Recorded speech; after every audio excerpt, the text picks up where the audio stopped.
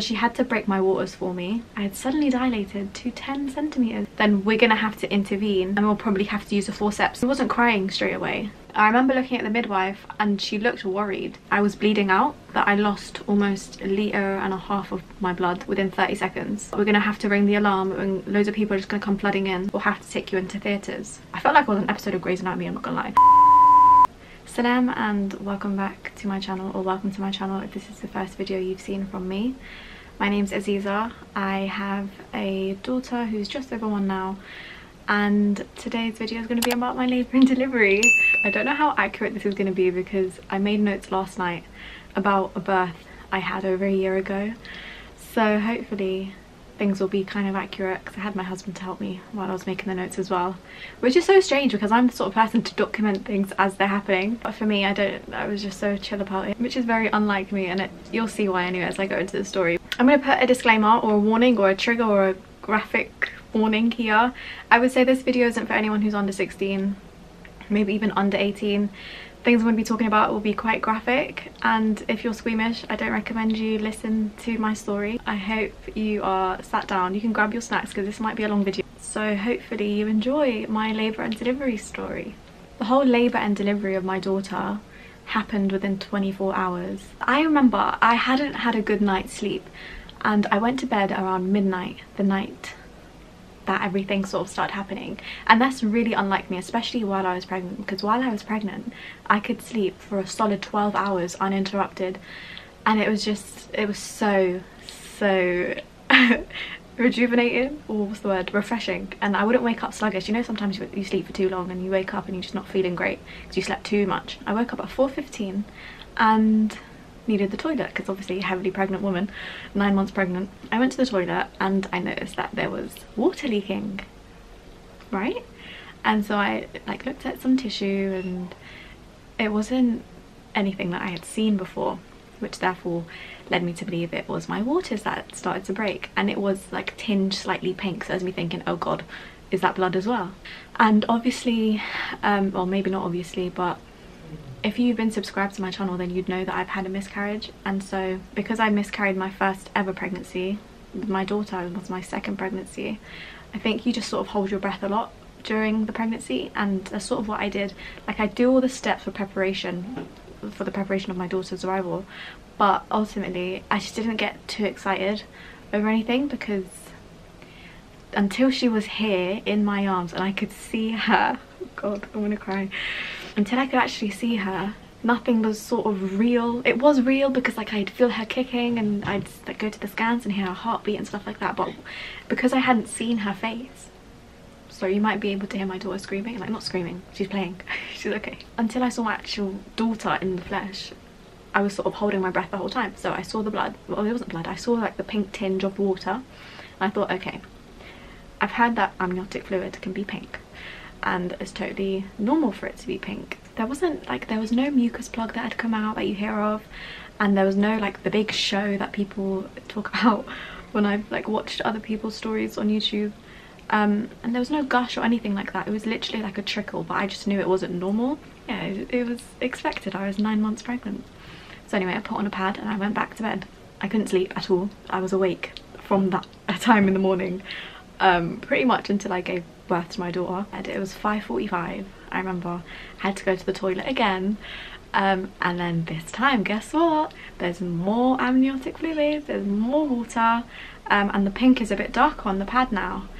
So again, I'm thinking, Bismillah, I hope everything's okay. And um, I started to feel a few cramps, but I think oh, it was so minor. It wasn't even like period cramps. It was just so minor. Obviously i told my husband when i've gone to the toilet when i'd gone to the toilet the first time i was like babe babe i think it's happening. I think my waters are breaking. He was like yeah okay. Um he just sort of went back to sleep and we're like just get some more rest and then we'll see what, what's happening later on um, in the day. Around 6 a.m i woke him up again. I was like look um, you know there's more liquid coming out. It was still so minuscule like the amount of water that was leaking. It was not even a trickle from a tap really but obviously me being the overthinker me being high risk pregnancy as well you know I take medications and so I had to be monitored just a bit more and because I've had a miscarriage before and stuff like that I guess they just wanted to see that everything was fine and I just basically told them what was happening to me I had told them you know, look, I've got this medical condition. Mm. I also have GBS, so group B strep, which is it's a common, relatively common thing in pregnancy. It was explained to me to be like this bacteria that we all have um, as pregnant women and it can it can sort of remain dormant during pregnancy or it can sort of be triggered or activated or something. And essentially it's completely fine for me. Like I'm not in any harm from having GBS but it could be a danger for my daughter when she's born because it's a sort it's a certain type of bacteria they're very vulnerable to illnesses at that age because they're literally fresh out of the womb and so I would have to be put onto antibiotics. Although my waters have started to break but I didn't feel any pain, any discomfort, anything like that. They asked me to come in so they could check me. So I remember telling my husband, look, I think I think maybe we should put the bags in the car. Um, just so we're ready, I think we should get the bags and put them in the car. Um, he was like, no, no, no, let's, let's just go to the hospital, see what they're saying. I was like, okay. I just had a feeling. This was around 6am. I had then, you know, I'd gone taken a shower. I knew that I wasn't in any pain or discomfort or anything. So I sort of gave myself a little bit of time and then I got ready to go. So I, I literally put on a little bit of makeup. And when I say like I just did my eyebrows and like some concealer and mascara and whatever. Sounds like a lot, but there's me thinking I want to take these beautiful angelic photos with my newborn and you know, what if my and I'm just like oh god I'm gonna have my dark circles I'm gonna have my eyebrows that are all messy and anyway so relevant when it comes down to it because when it actually comes down to the nitty gritty everything is just laying out there. You like it's like you just don't care. Like there's no modesty anymore. So we arrived at the hospital at half eight. We didn't have our bags. We didn't have anything. I literally had my little handbag with like my chewing gum and my phone. I think I didn't even eat anything. I hadn't eaten anything that morning. Because this was the back end of COVID, my husband wasn't allowed to be with me still. And so I saw the midwife and she checked me using a speculum. It's to be uncomfortable. I'm to just have to open you up a little bit using this tool, speculum. You can Google what it looks like. It kind of looks like a like a pair of scissors. That sounds really scary, but it's not that it's not that bad. She had confirmed that my waters had started to break, but it was ever so slight and then she said this is the part that got me and this is the first time I cried that day. Then she said that she could see lots of hair. Oh my god I'm just I might be an emotional mess during this video but she said that she could see lots of hair. And I think I think if you've ever had a loss before and you sort of block yourself from feeling all the happiness that you know you could feel but you sort of know that it's hard to let yourself feel that knowing that things can go wrong and they have gone wrong before. I um that yeah that was the first time I cried but I was sort of like oh my god someone else has seen my actual daughter not through a scan but actually with their eyes. It was really it was just really surreal. And I was like oh my god yes I knew she would have hair. She had like this dark black like thick hair. Anyway once she once we were done I asked her if I was okay to go and she said oh no no you won't be going home today. You're going to be staying at the hospital. You're in labour, technically speaking, because your waters have started to break. I was like, yeah, okay, but you know, I'm I don't feel any pain. Like, can't I just go home? I can labour naturally at home. Because this is exactly what I wanted, and this is what I stated in my birth plan, sort of thing. By the way, nothing, almost nothing I planned for and wrote down in my birth plan happened. I sort of, I don't know how I'm going to do it, but I sort of want to do a reaction to my birth plan video. because I watched it the other day and I was like, wow, wow, that didn't happen, that didn't happen, that didn't happen. Wow, I asked for a lot of things. And alhamdulillah, like even though nothing really went to plan, I would still say it was it was a positive experience and it sort of just had to happen the way it happened because of the situation that I was in. Also, oh my god, I watched my birth plan video and I watched my hospital bag video. And during my pregnancy I didn't think that I looked that different. Like I actually didn't really gain fat. Like I didn't gain fat weight during my pregnancy. That was more so like I gained it postpartum because I was just a whole other story. I think a whole other video needs to be dedicated to postpartum. Yeah I was just watching those videos again and I looked so swollen I looked like I was in pain. I almost looked like I was botched in the face because my cheeks were very like everything was just swollen. My fingers were swollen. And my lips looked weird. Um yeah it just i guess it sort of just looked like i was a bit botched. And there's me thinking at the time wow i look great. Anyway i did look great. My skin was doing great. I was glowing. I actually was glowing. My husband said it so anyway doesn't matter. I'm going off track. Um, yeah, so she said, no, you won't be going home. Um, if you didn't have GBS, then we would send you home. But because your, your waters have started to break already, just a little bit, um, and because you've got this bacteria, your baby could be in danger. And so I was like, oh, okay. That's when I started to realise my birth plan was not going to go the way I had planned for it to. She told me I'd have to have a cannula put in my hand and that I would need to then be put pretty much onto an antibiotic drip straight away. Then went out to my husband and told him, um, look, this is happening pretty much right now. Um, we need to get the bags. Um, let's call my mum. Mum's at home. She can like help find things in the house like the I made some energy balls. She can help bring them out of the freezer and that sort of stuff. anyway, so my husband then left to get the hospital bags and the food that I had made myself. I laugh because I literally, you'll see why, but like I didn't, I wasn't able to eat for over a day. As my husband's gone, I've gone back into this room with the midwife and she was like, oh, it's gonna hurt. And I was like, okay. She put the cannula into my, my right hand, into one of the veins here. And that was sort of just dangling off me until we got to the delivery room. Around quarter past 10, we moved to the delivery suite. It was actually a really lovely room. It had the bed in there. It also had like a cubicle, like a shower cubicle um, toilet. It was really lovely. It was private. They had a door and then in front of the door was a curtain. So I'd met the midwife that was going to be looking after me and she was really, she was a young midwife. She was really nice. Um, and they had obviously had my birth plan because they had, my birth plan was included in the white book that you get or I got a white book anyway, I don't know what colour it is for anyone else, but um, I had printed it off and put it into the pack so the midwives could see. One of the midwives put on some compression socks for me and that's pretty much what I wore for the next two, three days. Although I had packed clothes um, and my husband had packed clothes as well.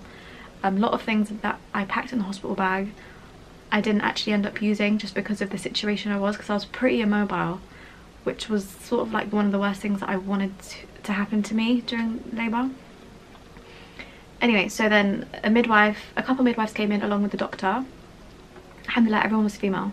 So the doctor was basically talking me through my birth plan and then the only point she really made was about the tearing and you know how I, if you watch my birth plan you'd know that I said that I wanted to tear naturally and she's like, um, obviously give me her opinion of course. She said, um, you know, if sometimes it depends on the tear but sometimes it's better to um, just make a surgical cut so that we can control the bleeding and control what's happening to you. And I was like okay um, I was pretty much just like we'll see what happens when it happens. Um, and she was like she also said don't be a martyr. If you need the epidural just ask for the epidural um, and if you'd watched my birth plan as well you'd know that I had epidural sort of like one of the last resorts as well so the key thing the midwife told me was that I'd need to be augmented I'd never heard of augmentation before I'd only heard of induction of labour so essentially the difference between induction and augmentation is that induction is to basically artificially break your waters to start labour. I think if I got that correct. Whereas augmentation is to help your labour progress quicker once your waters have started to break slightly or once they've started to break generally. So I needed to be augmented which meant I had to go on a hormone drip. That was that was kind of hard to hear because that would then mean that things wouldn't be happening naturally like I wanted them to. Things would be happening artificially, meaning that because my contractions would be brought on artificially, they would be a lot more painful than normal. So there's me, I'm now sitting on the bed and I've got my cannula in my hand and I've got um I got the antibiotic drip going through my veins and then I've got the hormone drip going through my veins as well. And then my husband arrived and we basically told him that look I've had to go on to some hormones. They gave me another option but I can't remember it for the life of me. Um, but ultimately the other options would have taken longer because ultimately that option I'd have to go onto a hormone drip anyway. And this was basically all because I had GBS and they just wanted to reduce the risk of anything happening to my daughter. Um, or her catching anything or infection or illness or anything like that. Yeah, my husband came back around 11 a.m and I had like a quick Tesco meal deal sitting up laying on the bed. Um, my belly was strapped with the monitors so I could hear my daughter's heartbeat. Um, and like the contraction monitor was also behind me. Everything was sort of set up waiting for contractions to happen. Um, but it was really annoying because like I said in my birth plan I wanted to be able to be walking around the room. I wanted to be able to do what I wanted and be free during labour and that didn't happen for me unfortunately. Strapped to the machines really um, and to the medication. So every time I needed something, like I needed to go to the toilet, I'd have to ring the bell and I don't know, I just felt kind of bad doing that because obviously it's the midwife's job, but it's like I want to be able to be independent. I'd have to ring the bell and the midwife had had to like unclip the IV or whatever it is. I don't even know these technical terms, but yeah, I'd have to then be hooked back up and it was just kind of annoying, but it was it wasn't too bad. So two hours later, around 1 p.m., I started to feel contractions and they gradually became more painful. And because things were happening artificially due to these hormones, things progressed really, really quickly. In my case, it did at least. You know how you hear people can be in labour for like 48 hours, 72 hours? It's because it's happening naturally, right? Because this is not happening naturally, things can go from 0 to 100 very fast. so anyway, I started to feel period pains or something that I can relate to period pains. Um, except it was sort of like in a different location. It was sort of just across my stomach. And during this time I was offered gas and air. I don't know what's up with gas and air. Some people find it like a miracle, right? For me, it wasn't so miraculous. I used the gas and air, but it sort of just gave me a headache. You know, some people say that they get that feeling of being high on gas. I don't know what it's like to be high, babes. So I tried the gas and I was just dizzy. Or like, I don't know what it is. It just didn't seem to work for me. Around 3 p.m., I couldn't talk through the pain anymore. So within the space of like four hours I was in like a, I was getting through these contractions and I wasn't able to I wasn't like jokey happy Aziza anymore I was just getting through it as best as I could and from basically 3 p.m. to 5 p.m.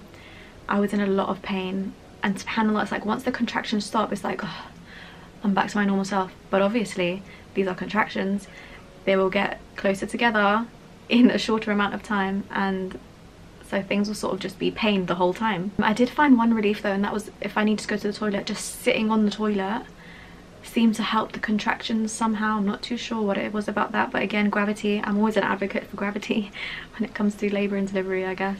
That helped some of the discomfort. Gas and I wasn't doing much so I wasn't on any painkillers right and so this was just happening fast and it was kind of surprising to me and my husband could see the change in me in how things had just progressed really quickly and I just become sort of like don't talk to me so around 5 p.m I was checked to see how dilated I was. And there's me thinking oh I'm going through all this pain. Let me just be at least three centimeters dilated. If I'm three centimeters dilated I'm like 33% of the way there. And so they checked me and I was only two centimeters dilated.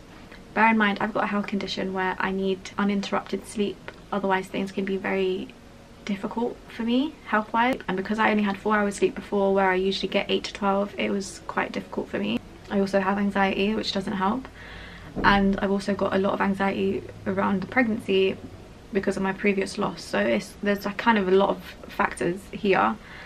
And so, yeah, they checked me and I was only two centimeters dilated and that's when I knew that I wanted the epidural because at least with the epidural I'd be able to sleep and not feel the discomfort and get some rest and have my body relax and do things um, without feeling the stress of it. So it's pretty known that a woman who is relaxed and calmer during her labour tends to dilate quicker, generally speaking, than someone who is frantic.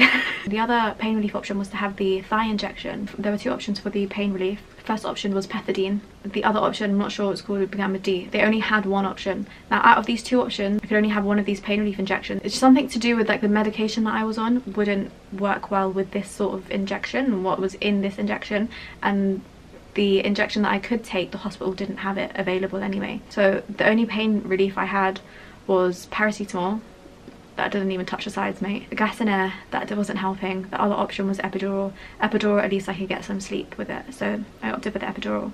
The epidural was administered at 8.20 p.m. So I was waiting about three and a half hours for the epidural and during this time the contractions are basically back to back and so for this whole period I'm like suffering which obviously is like expected but because these are artificial contractions again they're not normal contractions and obviously I don't really have anything to compare it to because I've never had artificial contractions before, I've never had normal contractions before either. Bear in mind, my waters still had not broken, so, oh god, I don't even, I don't even know how to speak about this bit. Um, so I'm contracting intensely. This was past 8 p.m. now, so the midwife shift had changed. So I had a new mid midwife come to see me.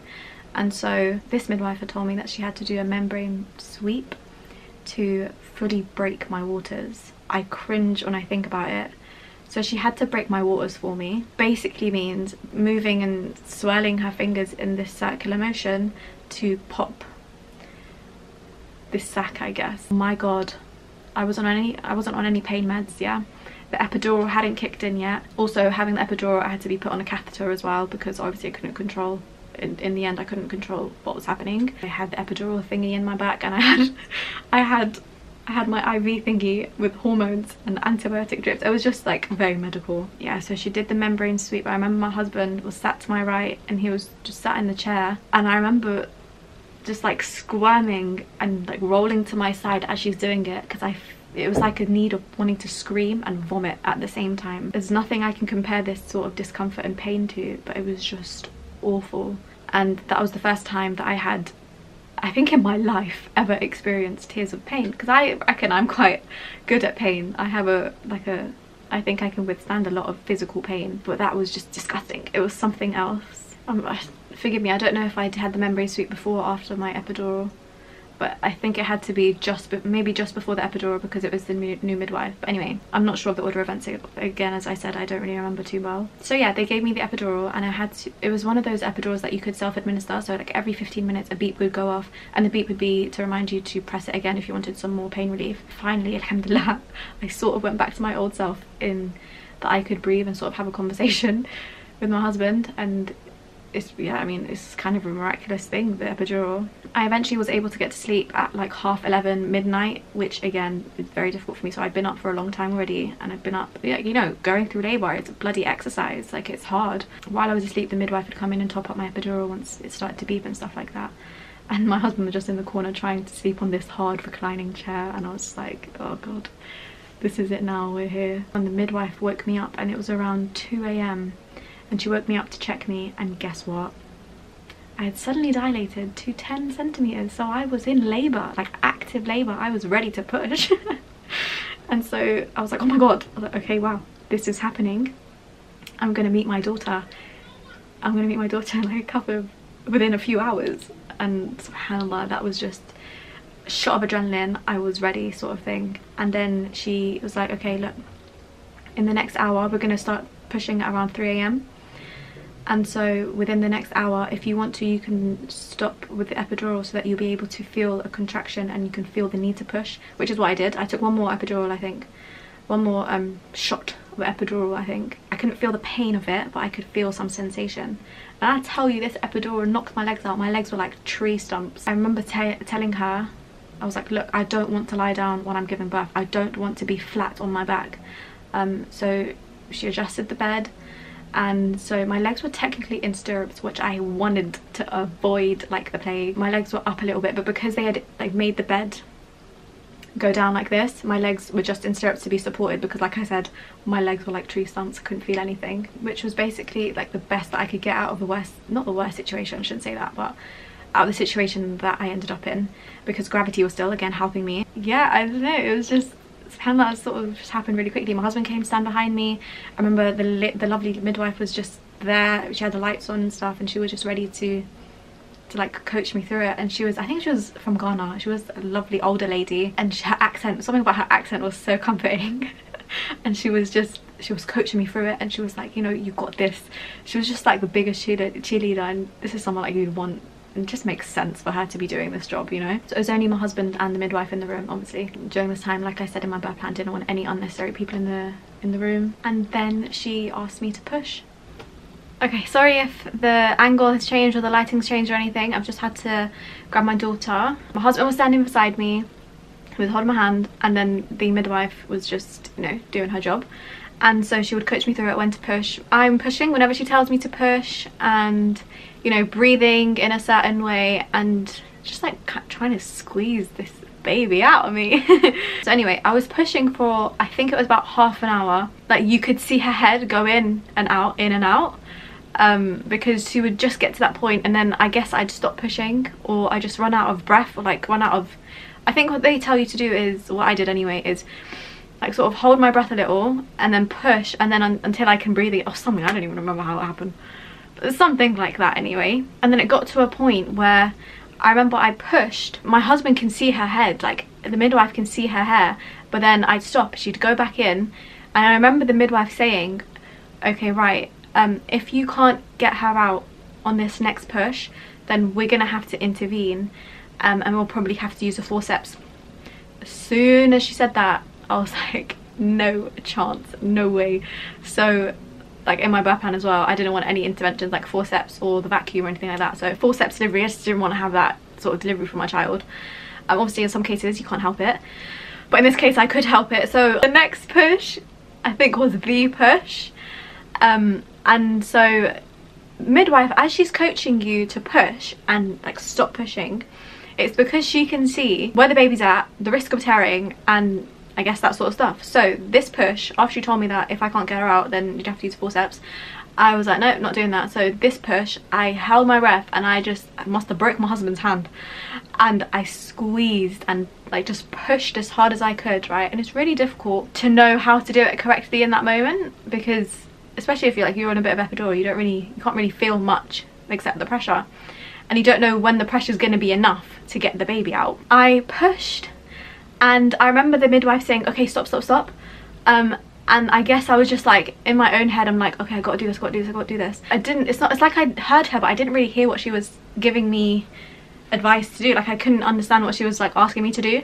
So I just kept pushing. And then my daughter was born. And she just came flooding out. Like um just alhamdulillah she just came flying out. See now that i'm looking back i knew that she told me to stop pushing because it was a risk for me in regards to tearing and obviously now with everything that i'm about to say i'm going to put a trigger warning here because it does include blood and like if you've had like an experience giving birth or anything where um you've had to have like the emergency bells rung maybe you don't want to watch this part of the video. When my daughter came out, I did panic a little bit because she wasn't crying straight away. Obviously, there's me thinking, okay, I can't hear a cry yet. Because you know, usually the baby comes out and they just sort of start screaming straight away based on what I've seen in documentaries and One Born Every Minute and all of these sort of shows. My daughter didn't cry straight away. She, she I think it was a good like 10 seconds before she screamed and I don't know if that's because she didn't realise that she could scream or she was like on the outside world and she wasn't in my tummy anymore. I remember looking down and seeing her and she was just like this goopy mess of hair and skin and blood and yeah it was just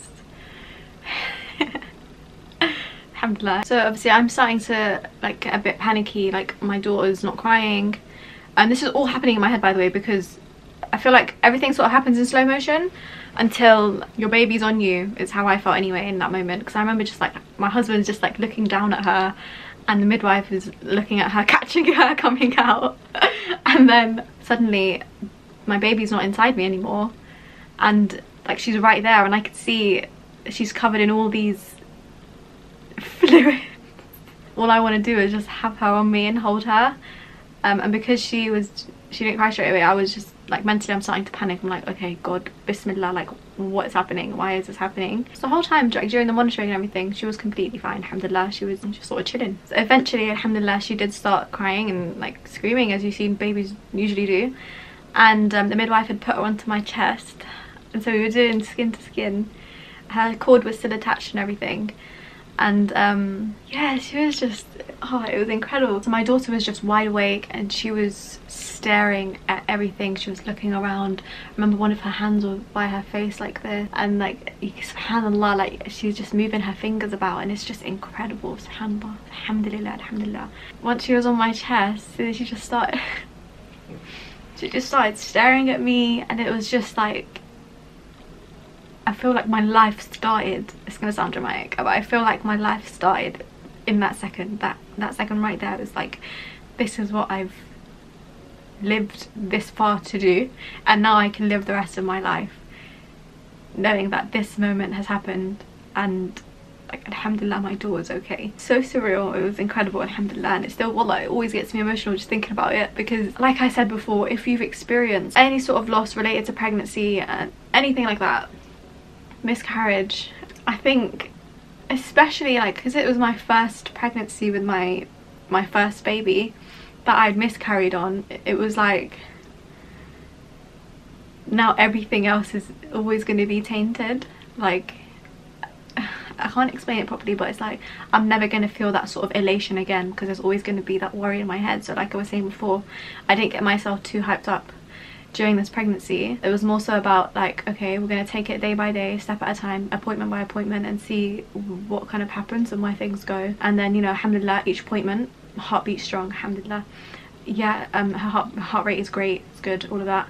Um she was kicking well as well which is amazing. Anyway very quickly after that all of this happened like I was saying within 10 seconds where she came flooding out um, and then she was on my chest. She hadn't screamed. Then she screamed. It all happened within about 10 seconds. And I remember my husband was still looking at where my daughter came out although my daughter was on my chest. I don't remember it like this because obviously I'm just sort of like I'm dazed just staring at my daughter and her big brown eyes subhanallah and she had some bruising around her face as well because obviously she'd she'd like it's like she was stuck in the door so many times. And then she just couldn't get out i had to ask my husband this because i wasn't too certain what was happening because like i was saying i was dazed and i kind of do remember this my husband said to the midwife looking down at me he was like is this normal and I remember looking at the midwife and she looked worried. She was like observing what was happening with me and she was like, my husband asked, is this normal? The midwife said, no, this is not normal. I'm just gonna wait and see what happens. And basically, I was bleeding out. I was losing a lot of blood. I don't know what's happening down there. I can't see anything. My daughter's in my arms. I'm just happy enjoying my daughter's company and giving her lots of hugs and kisses and just crying over the fact that I have a child now. Um, and so I'm kind of oblivious to what's happening. I can't feel anything because I'm on the epidural. But essentially I was losing lots of blood. The midwife said that she wanted to wait for a second to see what's happening and see if the blood will stop. And the way my husband described it is that as soon as my daughter came out, this gush of blood followed and just like started soaking up the bed. And so the midwife realised that the blood wasn't going to stop and she called in two doctors and they realised, alhamdulillah, female, um, they realised that like I needed to be stitched. They couldn't see what's happening, I'm losing too much blood. It turned out that I lost almost a litre and a half of my blood within 30 seconds, which is a huge amount of blood. Anyway, the doctors looked at me, examined me, and they were like, right, okay, I don't want you to panic, but we're gonna have to ring the alarm and loads of people are just gonna come flooding in. We're just trying to sort everything out. I was like, well, okay, okay then. I literally don't give a care in the world what they're saying right now, because I'm just like holding my daughter and wallah, as soon as soon as I knew that she was good, that she was okay, I just really didn't care what happened to me. Because like I said, I didn't feel the pain. I just felt like it was just, I don't even know how to explain it. It was just like, the only word that I can use to describe it is fulfillment. It just, I just felt fulfilled in that moment. So they rang the alarm and about 10 midwives and doctors came in to the room and um, alhamdulillah again I guess Allah was listening to my du'as that day accepted my du'as that day and every single one was a lady so I didn't have to worry about that and one of them was I remember her being a young Muslim girl and um, I think she was Pakistani or Bengali or something like that. I remember she was just sort of like by the bed, the head of my bed the whole time. Yeah, I was just sort of holding my door and I remember they shifted the bed back so that I was laying a little bit and they then brought all the lights over to see what was happening. They started to grab all these cloths and just sort of like put it down on the bed under me grab these cloths wipe the blood away and then chuck it into this bucket. And when I tell you ugh, there were so many cloths full of my blood and they were just trying to collect it all so that they could see I think they weighed it actually at the end to see how much I had lost. Um, and so they're they're in the middle of um, collecting all this blood from the bed and I'm just like there holding my daughter and just like looking at my daughter and touching her face and all this. And everyone's chatting around me. It was sort of like the world just blurred right away and it was just it was beautiful alhamdulillah. Anyway so they're grabbing these cloths and they're chucking the blood into the bloody cloths into the buckets and they they're doing this again and again and again until i guess they could get a visual of what was happening. By the way like everything is just out there exposed like i think in these situations you're alhamdulillah they were all women yeah but and it was an emergency situation because I was bleeding. You don't have a choice as the patient and as a Muslim like it's okay in these situations where it's an emergency. And so when the midwife had told me to stop pushing that's when I had torn and it was because she could see that I would tear. The tear was a second degree tear which includes the skin and the muscle. However, the tear was not external, it was an internal tear. It was really hard for them to find the origin of where I was bleeding from because it was in me. There were two two doctors, I remember, two female doctors, alhamdulillah. They were there and um, they were just, you know, with their pads. I felt like it was an episode of Grey's Anatomy, I'm not gonna lie. One of the midwives had taken my daughter to get, like, get her weighed and measured and all of that.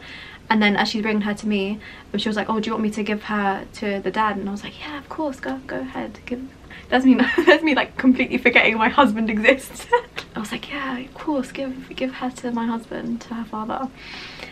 And um, so he was sat in his chair again and she had wrapped my daughter with this cloth so that obviously she wouldn't get blood on on my husband I guess. I mean there was blood all over me as in like from her. It was just I guess not. if you look at it it kind of looks like a horror movie but it was fine alhamdulillah like I remember at one point there was just they were sewing me up it took them about an hour to sew me up and it got to a point where it was taking too long and I was still losing blood not at the same pace that I was before but I remember them saying that if we can't find the source of the bleeding and we can't stitch here we'll have to take you into theatres and so I was like oh god no I don't want to be away from my daughter I don't want to have to be like I don't want to have to be in that kind of environment. Alhamdulillah like the Muslim girl that was next to me she was sort of like holding my hand the whole time and like I'm making adhkar and reading the Quran in my head and stuff like this. I remember it got to a point where I was just laying back and my head was back on the pillow and I was just sort of watching my husband and my daughter and he's just like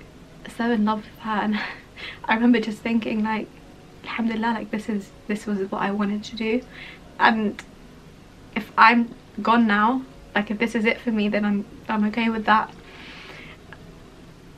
I know it sounds so dramatic but this is genuinely what was like running through my head at the at the time. Anyway um my battery light's flashing now so I'm, if the video ends I'm really sorry. But essentially they stitched me up. I got my daughter back there was an issue with weight because the first measurement they took of her, the first weight that they took was incorrect and she was weighing underweight and they weighed her again and alhamdulillah she was fine. Then they basically moved me onto, it wasn't the postpartum ward, I'm not sure if it was a recovery ward but it was somewhere else so that I could be checked. But let me just say, because I had bled so much and once they had done stitching they had put all of this, I don't know if it was cotton pads or cloth or what, they had stuffed me like a turkey and I didn't feel the pain until the next morning and once the epidural had worn off and subhanallah like that pain was worse than the memory of This is the worst pain I've felt in my life and it had me crying. Subhanallah. Anyway, um, I might have to finish this in a vlog or in another video but it, it sounds kind of negative the ending part of this story but alhamdulillah like every everyone was fine. Everything's fine. I was okay. My recovery alhamdulillah was so good. Um, I'll probably do a Q&A on this so if you want to ask questions just go on my Instagram because um, that's where I put up the question and answer thingies Anyway, um, sorry again that this was rushed at the end but thank you so much for watching. If you want to share your story feel free to and if you have any questions then let me know over on instagram. I'll leave the details in the description. Thank you for watching. I hope this wasn't triggering for any of you. Um, if you want to subscribe i'd love for you to like the video and leave a comment if you want to. Thank you for listening to my story. Hopefully it's a positive one.